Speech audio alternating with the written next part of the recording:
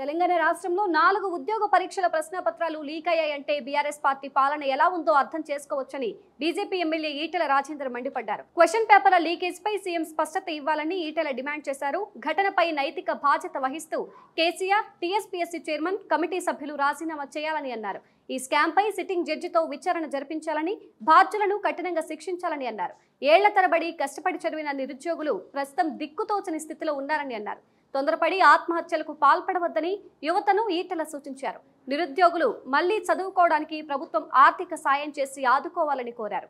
Paper leakage పై కేసీఆర్ ప్రభుత్వం నిర్లక్ష్యంగా వ్యవహరిస్తోందని ఆగ్రహం వ్యక్తం చేశారు.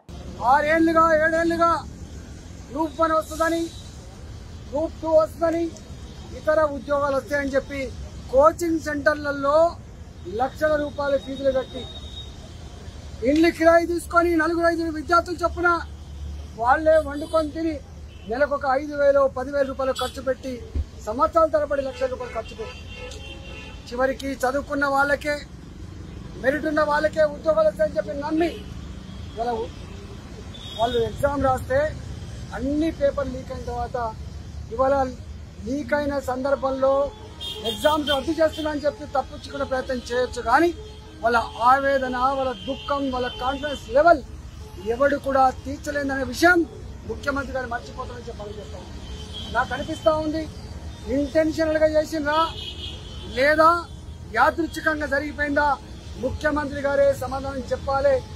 ముఖ్యమంత్రి గారికి ప్రగతి భవన్లో ముఖ్యమంత్రి గారికి ప్రగతి భవన్లో ఫామ్ హౌస్లో ఉండేటువంటి అలవాటు తప్ప తెలంగాణ ప్రాంత ప్రజల గురించి కానీ తెలంగాణ రైతాంగం గురించి కానీ తెలంగాణ నిరుద్యోగ యువకుల పట్ల కానీ కన్సర్న్ లేదనడానికి పట్టింపు లేదనడానికి సజీవ సాక్ష్యమే ఈ పని.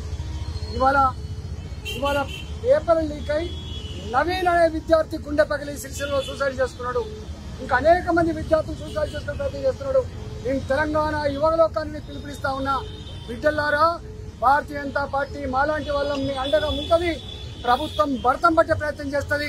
ప్రభుత్వం మెడలు మంచే ప్రయత్నం చేస్తుంది. కానీ మీరు మాత్రం ఆత్మహత్యలు చేసుకోకూడదని చెప్పి మేము డిమాండ్ మేము కోరుతా